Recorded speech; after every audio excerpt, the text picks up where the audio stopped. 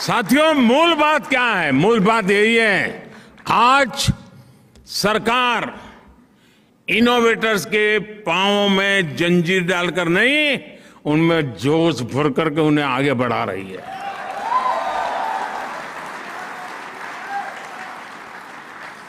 अगर आपको जियो स्पेशल क्षेत्र में इनोवेशन करना हो, नए तरह के ड्रोन बनाना हो या स्पेस के क्षेत्र में कोई नई सैटेलाइट या रॉकेट बनाना हो, इसके लिए सबसे खुला, सबसे नर्चरिंग वातावरण आज हिंदुस्तान में उपलब्ध है, दोस्तों।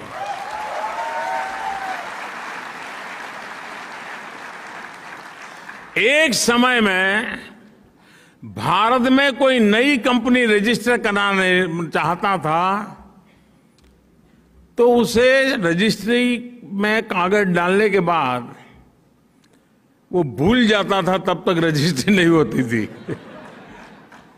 महीने लग जाते थे। जब भरोसा बढ़ जाता है, सरकार का नागरिकों पर भरोसा बढ़ता है, नागरिकों का सरकार पर भरोसा बढ़ता है, अविश्वास की खाई खत्म होती है, नतीजा ये आता है कि आज अगर कंपनी रजिस्टर करनी है तो 24 घंटे लगते हैं दोस्तों तो 24 घंटे।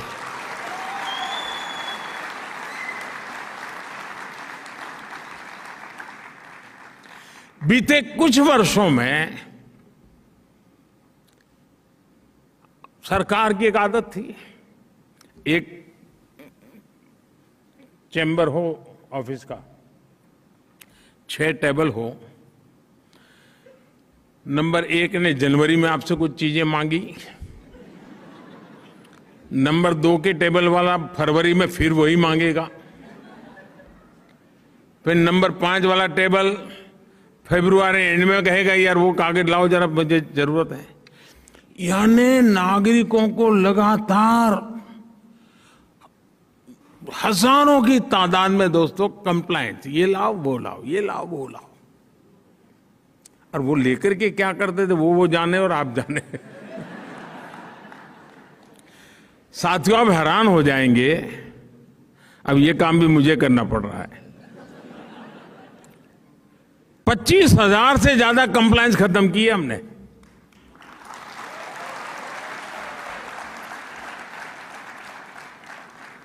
इतना ही नहीं, मैं 2013 में चुनाव के लिए तैयारी कर रहा था, क्योंकि मेरी पार्टी ने घोषित कर दिया था कि इसको प्रधानमंत्री बनाने वाले हैं।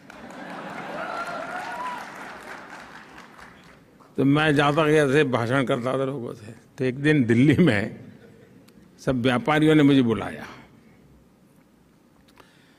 तो व्यापारी का बड़ा सम्मेलन था और उसमें जो मेरे आगे सज्जन बोल रहे थे, वो कह रहे थे, देखिए, वो कानून बना है, वो कानून बना है ये कानून बना है इसका कानून बना, सारा ढेर सारे कानून बता रहे थे अब चुनाव के समय तो सब लोग यही कहते हैं, ठीक है, मैं कर लूँगा। लेकिन दोस्तों, मैं जरा दूसरी मिट्टी का इंसान हूँ।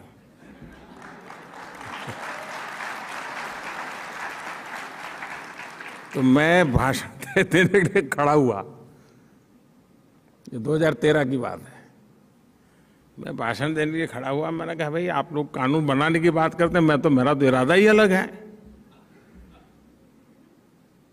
मुझे पता नहीं, मैं आपको बताऊँगा, वोट दोगे कि नहीं दोगे? मेरी तो छुट्टी कर दोगे आप लोग। मैंने कहा, मैं आपको वादा करता हूँ, मैं हर दिन एक कानून खत्म करूँगा आकर के।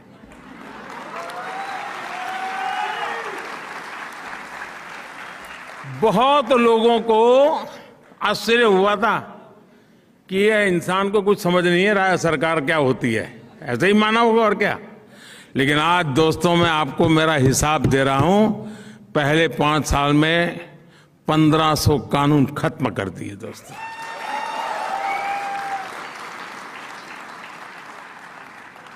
ये सब क्यों? ये नागरिकों पर, ये कानूनों की जंजाल का बोझ क्यों? ये भारत देश आज़ाद हो चुका है ना? देश मोदी का नहीं है, देश 130 करोड़ नागरिकों का है।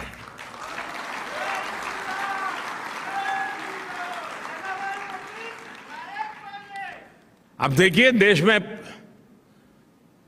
पहले तो हमारा हमारा देश की विशेषता देखिए साहब, देश एक, संविधान दो थे।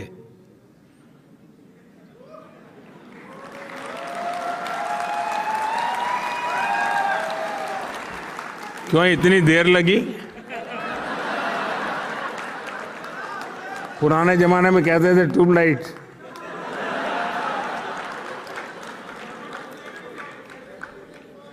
मालूम है ना दो संविधान थे?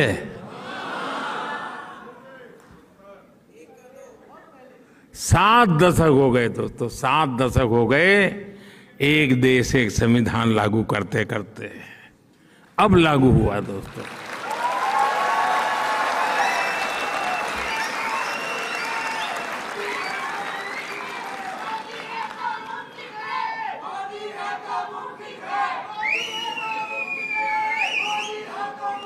गरीब को राशन कार्ड दोस्तों। अगर वो जबलपुर में रहता है, राशन कार्ड वहाँ का है, और अगर मजबूरन उसको जयपुर में जाना पड़ा ज़िंदगी गुजारने के लिए तो वो राशन कार्ड काम नहीं आता था। देश एक ही था, लेकिन राशन कार्ड अलग थे। आज one nation, one ration card हो गया।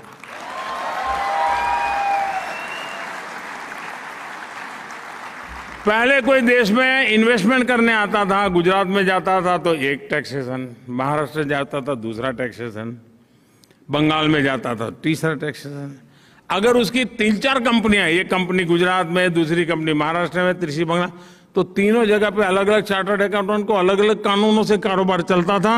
दोस्तों, आज टैक्स व्यवस्था एक जैसी लागू हो गई कि नहीं हो गई?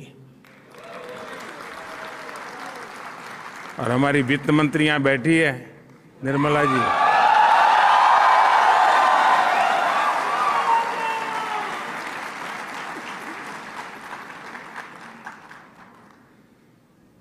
अप्रैल महीने में क्या हुआ मालूम है ना? जीएसटी का रिकॉर्ड कलेक्शन हो गया है one lakh sixty eight thousand rupees one lakh sixty eight thousand crore one nation one tax की दिशा में ये मजबूती के साथ हुआ कि नहीं हुआ दोस्तों? साथियों, मेक इन इंडिया आज आत्मनिर्भर भारत का ड्राइविंग फोर्स बन रही है। आत्मविश्वास से भरा भारत आज प्रोसेस ही आसान नहीं कर रहा है, बल्कि प्रोडक्शन लिंक इंसेंटिव से इन्वेस्टमेंट को सपोर्ट भी कर रहा है। इसका बड़ा प्रभाव भारत से होने वाले एक्सपोर्ट पर भी दिख रहा है। अभी कुछ दिन पहले हमने 400 बिलियन डॉलर एक्सपोर्ट का रिकॉर्ड तोड़ दिया। अगर हम गुड एंड सर्विसेज़ को देखें तो पिछले साल भारत से 670 बिलियन डॉलर, यानी करीब करीब 50 लाख करोड़ रुपए का एक्सपोर्ट हुआ है। आंकड़ा देख करके हाथ जम गए क्या?